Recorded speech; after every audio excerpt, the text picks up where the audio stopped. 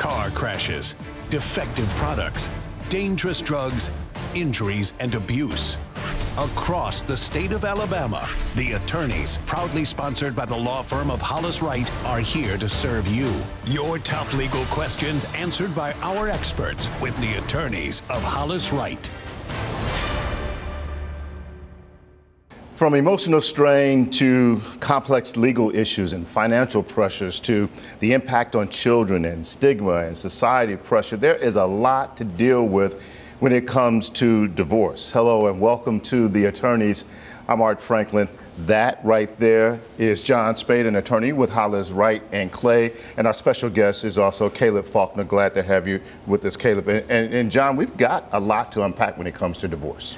We do, we do. And I'm glad that we've got Caleb on today. He's obviously an expert in this you know, area, handles it every single day and helps. Uh, uh, individuals that are going through divorce that, that might get served with a, a divorce summons or decree or, or, notified for the first time in the mail that, hey, you know, my spouse doesn't want to be with me anywhere. He's there kind of every step of the way. Um, it's a highly emotional, uh, you know, time of their lives, and I'm just very, you know, thankful to have Caleb on.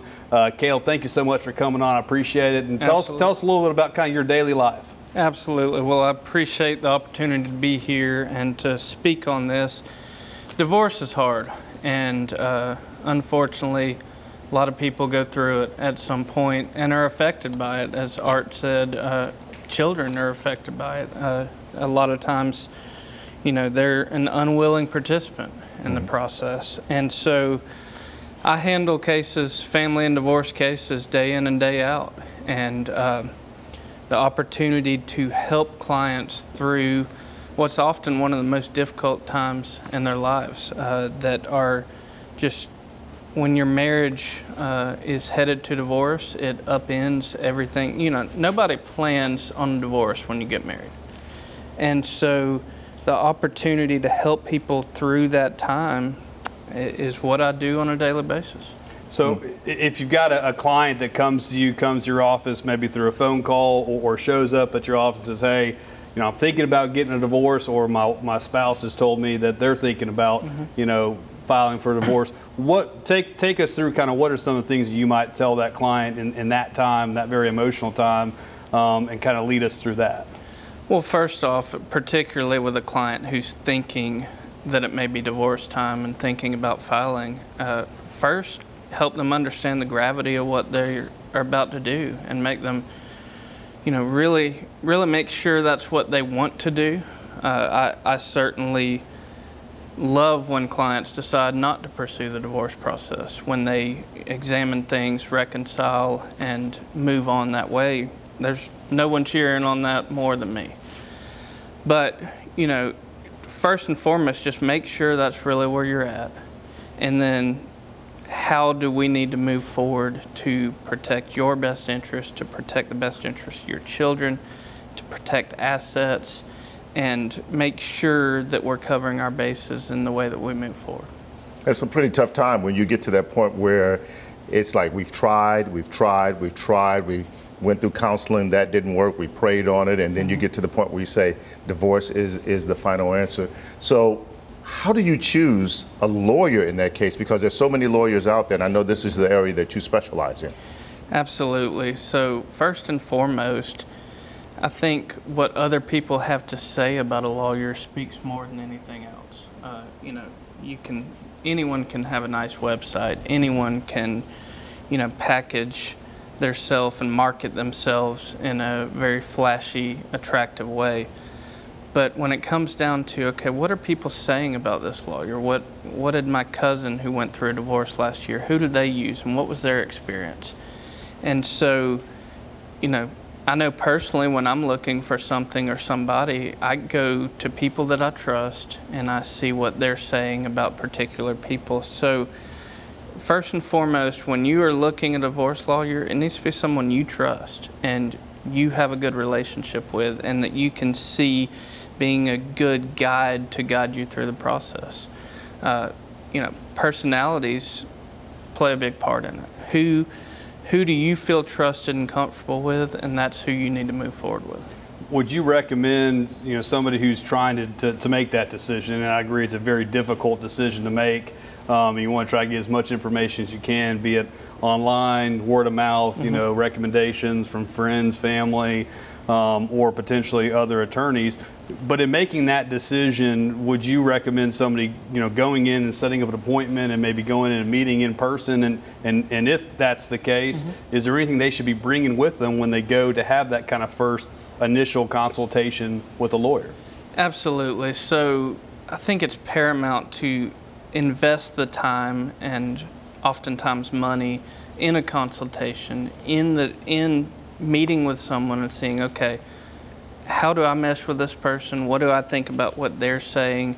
How would this relationship proceed? Often, attorneys, including myself, do charge a consultation fee. But if you invest that time, invest that money, it's going to pay off to make sure that you know what you're getting into. And in essence, I think clients need to be interviewing an attorney. When, when they go in for a consultation and they're asking about their case, they need to be seeing what they think of the attorney and of the process and how comfortable they are.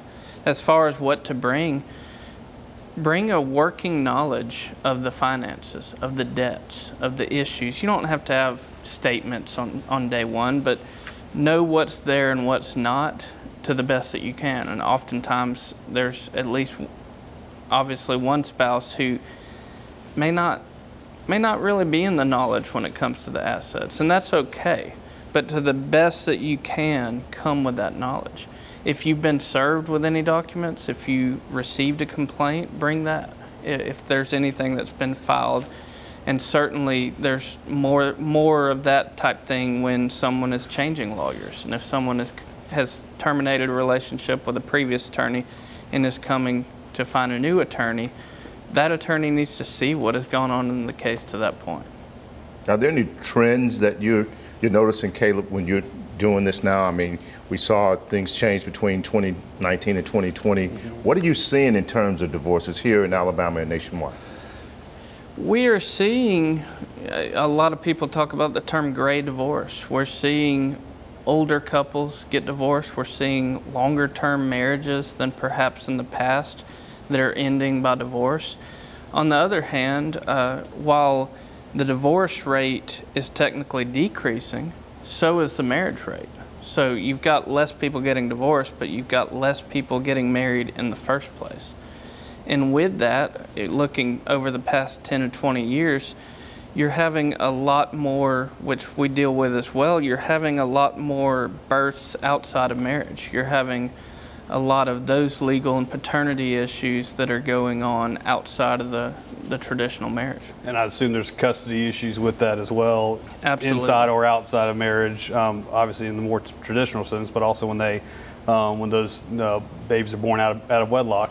Um, you, you mentioned the term gray divorce. Um, what do you let, let, actually? Let's let's touch upon that. I think after yeah. the, I think it's about time for a commercial break. Yeah, we'll, we'll, put a pin right there, and that's one of the things we'll talk about when we come back as we're talking um, divorce here on the attorneys. We also want to remind you that right now you can get in contact with an attorney from Hollis Wright. All you have to do is call one eight four four Law Talk. That call is free. That call is confidential. No one has to know what you're talking about but someone is waiting to hear from you. Make sure you call the right number because there are a lot of numbers out there, but that's the right number.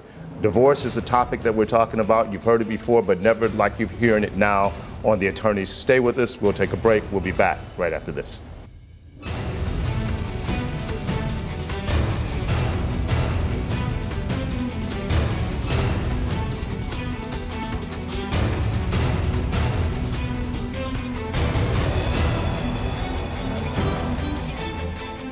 I'm Josh Wright with the law firm of Hollis Wright, a personal injury law firm, and thank you for watching The Attorneys. We hope you, a friend, or a loved one never needs legal counsel for a case. But if you do, the goal of the show is simple to provide answers and legal counsel when you need it the most. Your call to the show is free and off air. So if you have questions specific to the show or related to other accident or injury topics, call, email, or text us. You can also follow us on Facebook, Twitter, Instagram, and YouTube, or go to hollis-wright.com and click on the Contact Us button. We know your time is valuable, so thank you for spending it with us and watching The Attorneys. The attorneys, proudly sponsored by the law firm of Hollis Wright, are here to serve you. When we started the show eight years ago, my hope was we would be able to do what we do best, which is to help people answer real world legal related issues they have in their life. People oftentimes are confronting various legal issues and problems in their lives that range across the gamut of legal practice areas bankruptcy, criminal law, family law, just to name a few. And to be able to have a 30 minute platform or format to where we can just cover various legal topics once a week that's obviously the primary focus of the show. That we would be able to use the resources of the many lawyers we have at this law firm to create a plan that had a lasting impact that also gave back to the community at the same time. And I think we've done just that with the attorneys. Did you know when you hire Hollis Wright, you are still in charge of your case? Our attorneys at Hollis Wright are client centered, allowing you to help us control your case and result. At Hollis Wright, your result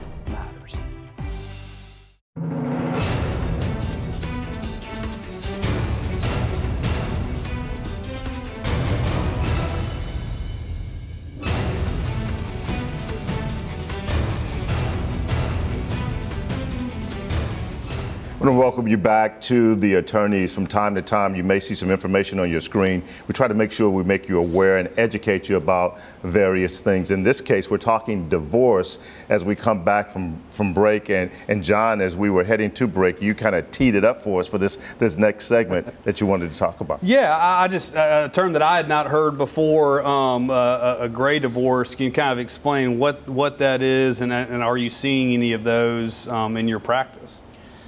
So, gray divorce is a term that a lot of people use to refer to the trend of retirees, more elderly uh, among our population that are getting divorced. A lot of times it may be a 40, 50 year marriage that unfortunately is ending in divorce. And for whatever reason, that is something that seems to have become more prevalent in the past few years.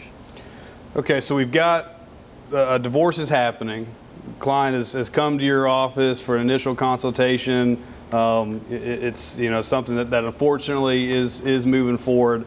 I, I, expect the question that most often comes up is who gets what, how is this divided? If it is a gray divorce, if it is 30 or 40, 50 years uh, uh, of a marriage that, that is now ending in a divorce, there's going to be a lot of, of assets and property that, that's been accumulated over that time.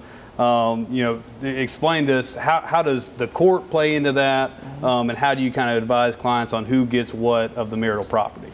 So the way I explain it to clients is, from the day you got married, you and your spouse have been accumulating property, and you know, typically both parties brought something into the marriage as well.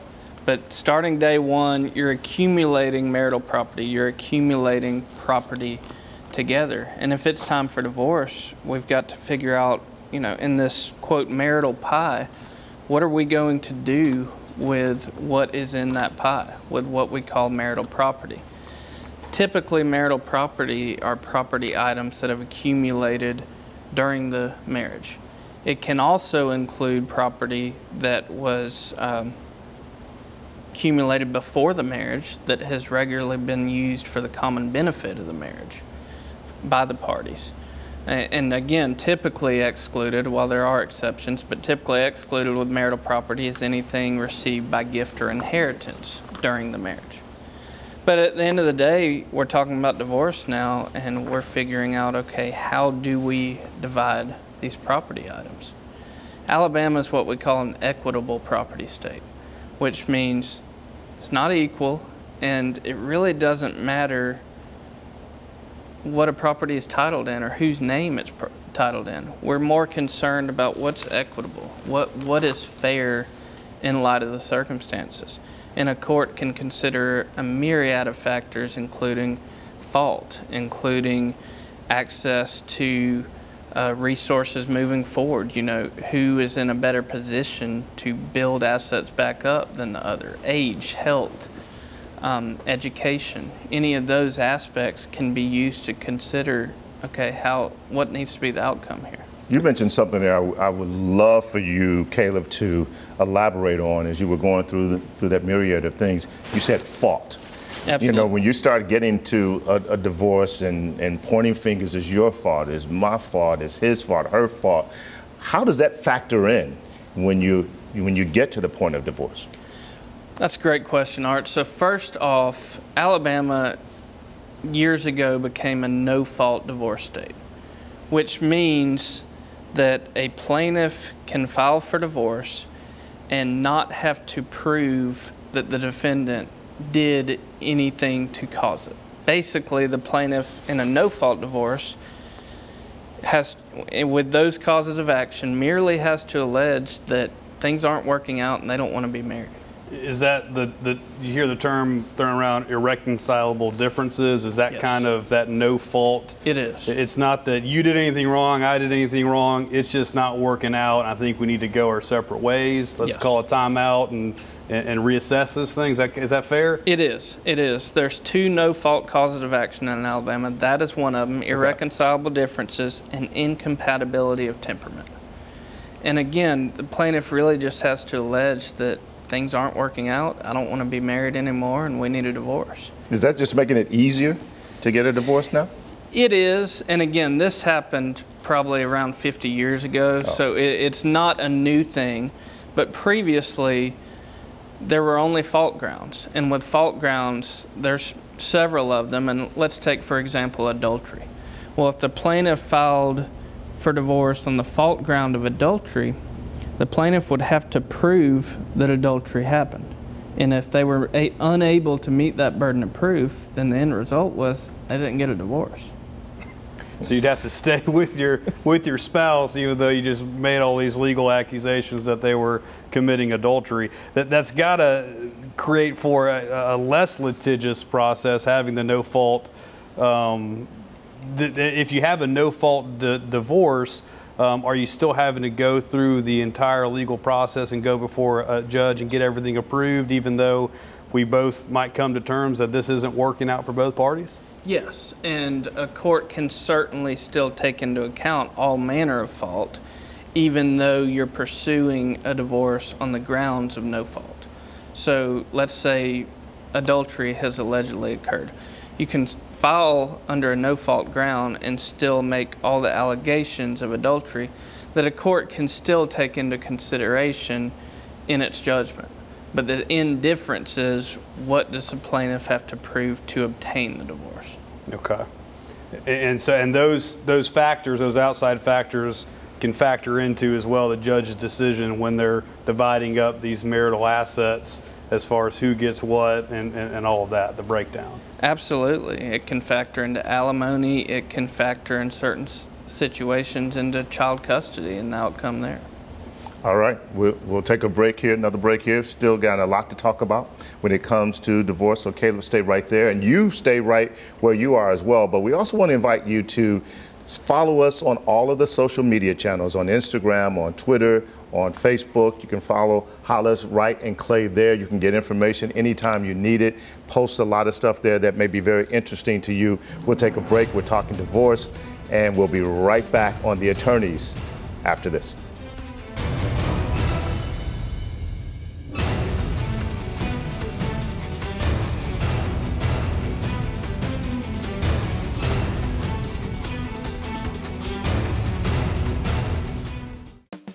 I'm attorney John Spade with the Hollis Wright Law Firm. If you have ever had a personal injury claim, the attorney handling your case has likely told you that a portion of your settlement would have to be used to pay back your health insurance company for the medical bills that they paid relating to your injuries. This is called subrogation. In this week's Legal 411, we are answering the question what is subrogation and how does it affect your personal injury claim? When you purchase health insurance, you sign a contract with the health insurance company, which provides that in exchange for you paying a monthly premium, the insurance company will pay your medical bills when you're injured. Now, that contract has a paragraph that gives your health insurance company the right to seek repayment for the medical bills they paid if you in turn use those medical bills as a basis to recover from a third party that caused your injury. The idea is that your health insurance company would not have had to pay your medical bills if it weren't for the wrongdoing of the third party.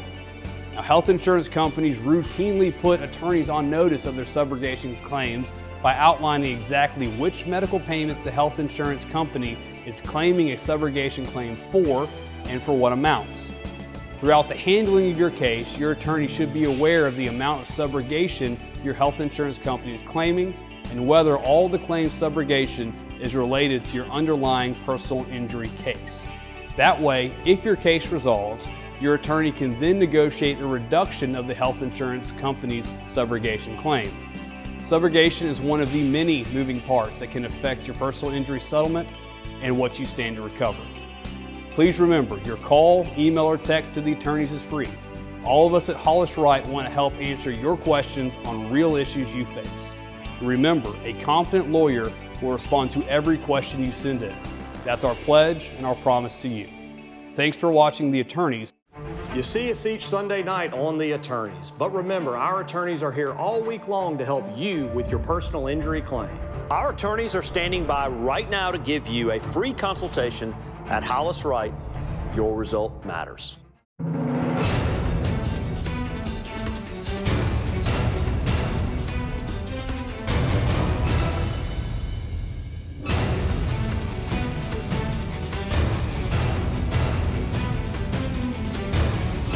Welcome back to the attorneys as we continue to talk about divorce. And I want to give you one of the statistics here. According to the 2019 Alabama Vital Statistics, Approximately 7.59% of Alabamians who were married in 2019 were either above the age of 75 or under the age of 20. You might have heard the term gray divorces here. Um, if you if you didn't, we can tell you a little bit more about that. But we're talking with Caleb Faulkner, of John Spade from Hollis Wright, and Clay, of course, leading the discussion. And we said we wanted to get into some other areas that we hadn't talked about alimony.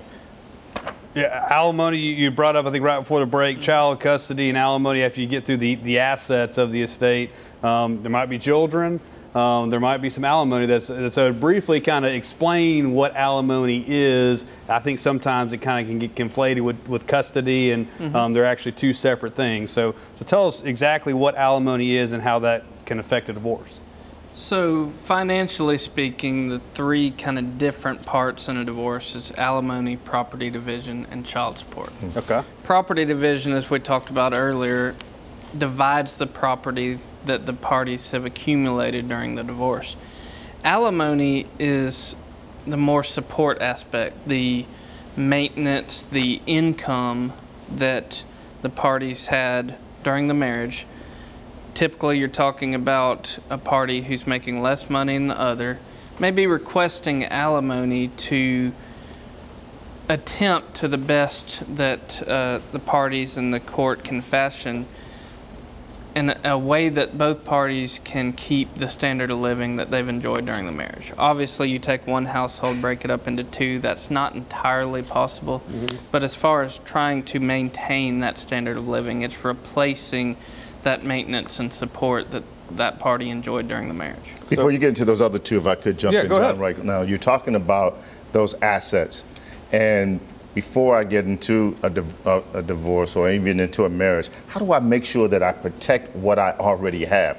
I'm saying, look, I want this. Is that a prenup? Are we talking those type of deals? It is. Uh, one way to do that and is a prenuptial agreement, also mm -hmm. known as an antenuptial agreement or for short prenup.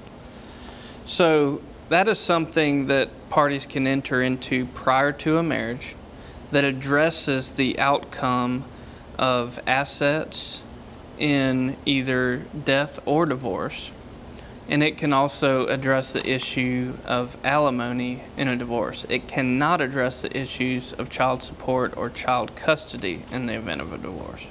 And does that apply, the prenup would apply to any assets that, that you might get during the divorce as well? It, it certainly can. Uh, prenuptial agreements are highly customizable, but yes, they certainly can address things that continue to be accumulated. What is the outcome there? Okay. Um, but one thing it can address is custody and child custody. Um, we haven't really touched upon that yet in the show. Um, tell us, kind of explain child custody kind of in a nutshell and the, the different types of custody and how that comes about with a court intervention? Absolutely. So you have two types of child custody. You have legal custody and physical custody. Legal custody is decision making of a child. All of the decisions throughout a child's life that must be made, that's your legal custody. Physical custody is who actually has the child or the children in his or her possession, care, and control. Who is actually taking care of them day to day and they're sleeping under that parent's roof. Okay. Um, now, if you get a custody order in place, um, can that ever be revisited, or is it one time and, and done, and, and that's that's the custody you might get weekends or, or one week a month or whatever it is, and that's what you get for the for the rest of time? It certainly can be modified, and it would be modified by a subsequent legal proceeding, petition to modify the previous judgment. And depending on the initial award of custody, that's going to determine the legal burden that the parent trying to change it is going to have to prove to change that custody order. So we've gone through this horrible process now. We're into divorce. Judge has decided what the assets are. We didn't have a prenup in place. My kids are going to a place and that I don't want them to be at. Judge has made all these decisions. I am totally unhappy with what the judge has said and what the judge has decided. Do I have any recourse or what can I do? Absolutely. So a party has a right to appeal the judgment to the Alabama Court of Civil Appeals and must do so within the time limit prescribed by law. So, you know, if you have a divorce judgment that you're not happy with, you need to see someone and you need to address it. That's good to know because like when people are trying to go through this process, um, they're trying to decide what's next. So, what's the big takeaway from this whole idea of divorce?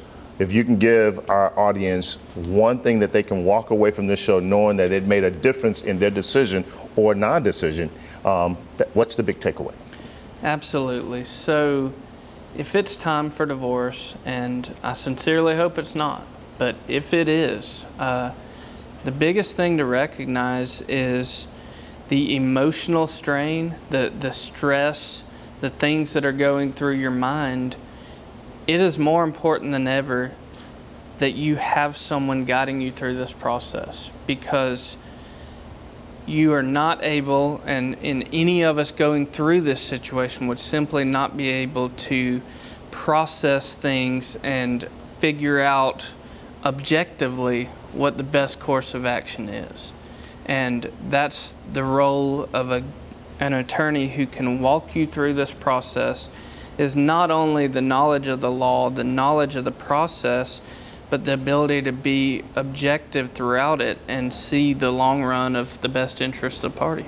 Very good. Caleb Faulkner, so glad to have you with us. Absolutely. Thank you. All right, that's Caleb. That's John Spade. Art Franklin here, thanking you for joining us here on The Attorneys. And make sure you join us for another edition next week, right here, same place. Thanks for watching The Attorneys, sponsored by Hollis Wright.